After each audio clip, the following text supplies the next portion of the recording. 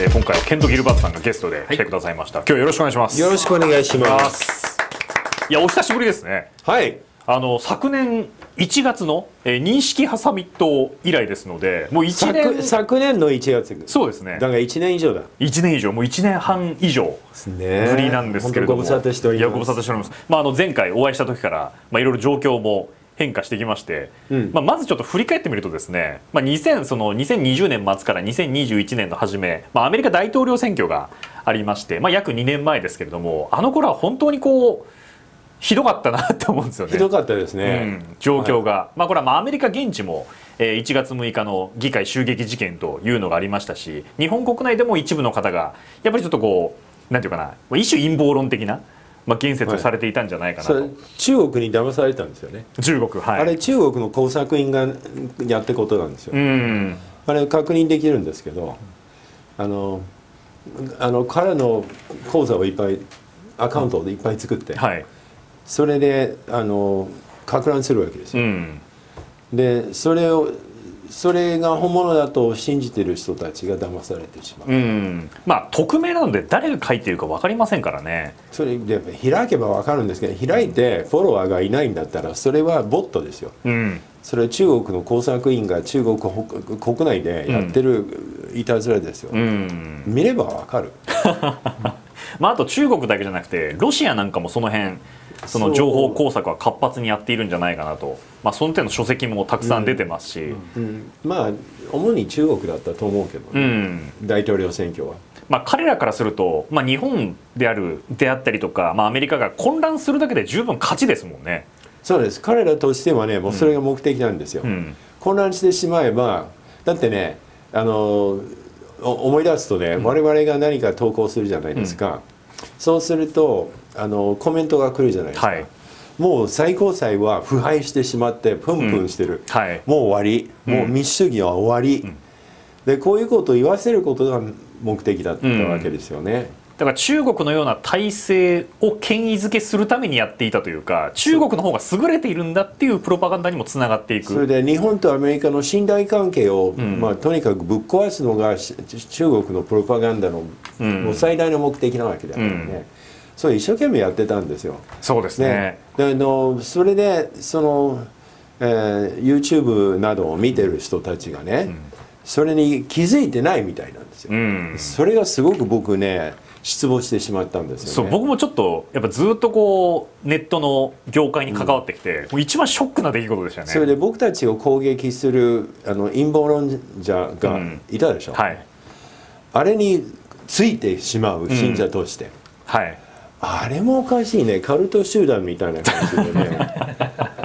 いやーびっくりした。一回引っかかってしまうとずっとそれをやり続けてなかなか気づかないんですよね、まあ、中にはそれこそ本当に工作的な意図で、まあ、中国なのか何なのか分かりませんけれども過激なことを書きまくるっていうのはあるのかもしれないんですがやっぱりその一般の方がその過激なその陰謀論に便乗しておかしな方向に行っちゃってるっていうのはやっぱこれ日本の危機でもあるなというふうに思ったんですよね。ええそうなの。それで結局僕はそれで YouTube はあんまり作ってないです今は、うん。ライブは時々やるんですけど、うん。あの作ってないんですよ、まあ、やっぱネットの悪意というかちょっとこうおかしなコメントとかもたくさん来ましたもんね当時。なんかね、あの僕の意見を聞きたいという人たちはまあまあいるけど、うん。あの攻撃してくる人たちにうん。ネタを差し上げたくない、うん、そうおそらくあの当時トランプ側を応援してた人ってあの気持ちいい答えが欲しかったと思うんですよね、まあ、要はそのトランプが勝ったっていうことをケントさんに言ってもらいたいみたいな。ただそれは事実に即さないから。でも勝ってないんだもんだって。負けてますもん。そう負けてるんですけどやっぱその気持ちいい意見を聞きたかったがゆえにそのケントさんはそれ言ってくれないからケントは分かってないみたいなことを言ってる大バカ者が多分ネットの中にそうそうそうそうそアメリカ人で共和党支持者のケントさんに何が分かってないのかっつってる、ね、あれはもう本当に悲うだからね劇でしたよね。全然分かってなくてね、うんあの国家反逆罪でうんぬんって言うけど国家反逆罪とは何なのか分からない って。軍事弁護士がどうのこうのっ軍事て。弁軍事弁護士どこの弁護士だって軍事弁護士なんで僕も軍事弁護士ですよ。軍法に基づいて弁護すればいいんだからそうですよね。僕もやったことあるんだよ横須賀で だから負けたけどね。それはやっぱりその 我々日本人がアメリカのことをよく分かってないからこそそんな話がこうまかり通っていたとそれ思うんですけども、で最高裁の判決が不正であるとか 不当であるとかそんなの。いや最高裁の判決はそれでいいのよ。うん。うん、それでだから判もう裁判の制度すらも分かってなくて。そうですよね、うんそうあのなんか証拠は最高裁で出すんだみたいな人いたんですけど、はい。はい。それ証拠その 最初から出さないとそもそも最高裁までたどり着かないだろうっていう、あの証拠はあの一審で出すんだよ。うん、そういうシーンで出すんですよね。最高裁まで行った時に証拠を出す場合じゃないのよ。うんもう証拠を証拠に基づいて判断が正しかったかどうかをか確認するだけなんだからね。だからそれがやっぱ最、まあ、そのやっぱ三審制の、まあ、一般的な感覚だと思うんですけど、はい。なんかこうその辺の議論をすっ飛ばして異常な論理がまかり通っていたなというのがそれでトランプが負けていて1月6日にバイデンが就任してるんだけど、うん。その後3月にトランプが当選。ありましたありました。トランプがホワイトハウスに入るんだよ3月にとかありえないっつっての。どうやって入るねんその1月20日の時にあのバイデンが言ったのはそのホワイトハウスのセットに入ったのであって本物のホワイトハウスには トランプがいるみたいな意味不明の話もありましたよね。陰謀論のリストを作ってるんですけど50以上あるんですよ。びっくりしましたね。全てが口頭無形な話なんですけど、はい。まあでもやっぱり信じてる人がいましたしいやなんならいいまだにいるんですよね。いまだにいますね、うん。まああの選挙に対して不満を持っている人たちが結構いらっしゃるわけですよ、うん。僕も決して100%満足というわけではないんですけど、うん。ただですね法的には、まあ、その結果は、あの合法的で、うん。うん。ですからあのトランプさんは潔くん降りるべきだと思うの。なるほど、まあ、それだから歴代の大統領候補たちもそうしてきたわけですよね。敗北したら認めて相手を称えると。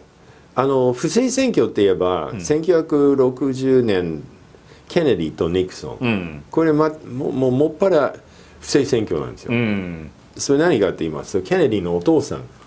あれはねあのシカゴのマフィアにお金を出してもらおー。お金を出して、はいそれで不正を働かせて、それでギリギリケネディが当選したんですよね。うん。でこれニクソンも分かってはいたんですけど、うん。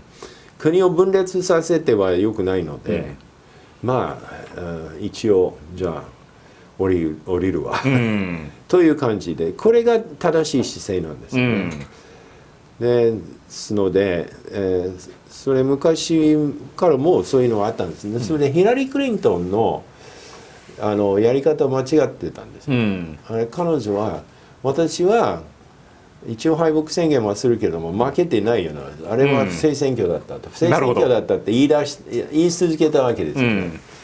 でそうするとね 不正選挙だというと国民が選挙制度を信用しなくなってしまうんで、うん。民主主義的には非常に大きな問題になるわけ、うん。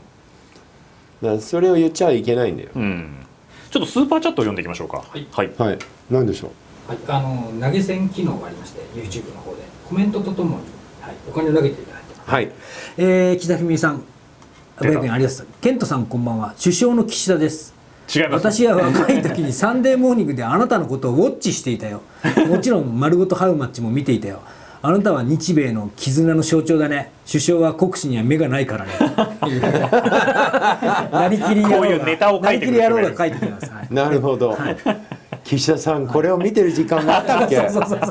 あ岸田さん国連に行ってるんじゃないの？今、あ岸田さんはい。日本に何言うか心配非なんです常に多忙ですからね。そうですよね。は枝野幸男さんから来てます。お。はい。偽物から。はい。ケントさんこんばんは。枝野です。私も昔丸ごとハウマッチやサンモニを見ていたよ。もちろんこの前のサミットも見たよ。いろいろ勉強になったよ。やはり日本の右翼はダメだね。いなんでね。枝野なりきり野郎枝野なりきり。はい次通りすがりのたぬきさん。お晩です。陰謀論がひどくて狂った者勝ちとなっているような昨今、えー了承を見つけました。